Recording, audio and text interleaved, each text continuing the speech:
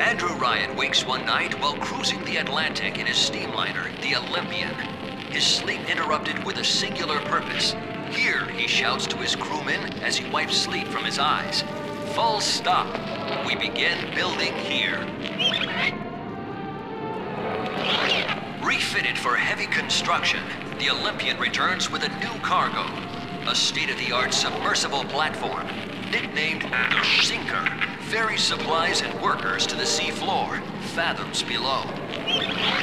After initial supplies have been brought to the seafloor, the platform is permanently moored in the sediment. Massive iron girders are sunk hundreds of feet into the rock and silt. Below the platform, engineers work to overcome obstacles such as diamond-hard rock, obstinate sea life, and unexpected. After the platform is secured, work progresses at an astounding rate. Designed to be the foundation of Rapture, workers toil around the clock to create the metropolis you see today.